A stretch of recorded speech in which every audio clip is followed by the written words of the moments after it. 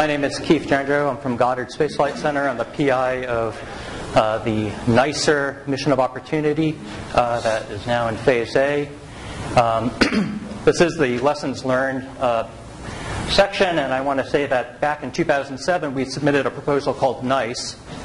And we were happy to find out that there was a proposal selected into Phase A in 2007 called NICE, but it was a different NICE.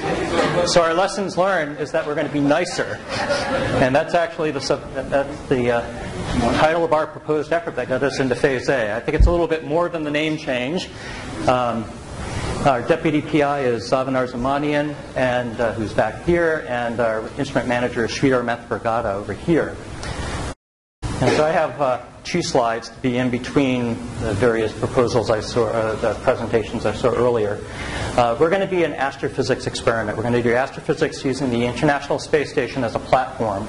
And our astrophysics is going to be focused on some of the most interesting objects in the sky, neutron stars. These are you know, the densest uh, items in the, in the universe. They are places where all four fundamental forces of nature are simultaneously important. And um, it's in this laboratory of extremes that we're going to be addressing key science objectives of, of NASA as well as science questions posed by the National Academy.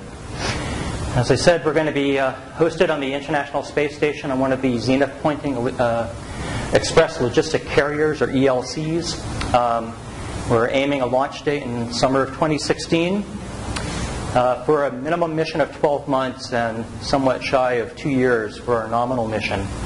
Um, we have a team that is led out of Goddard for most of the work. MIT is doing detectors, and we have a science team that spans a large, uh, large number of institutions around the country and also Mexico and Canada.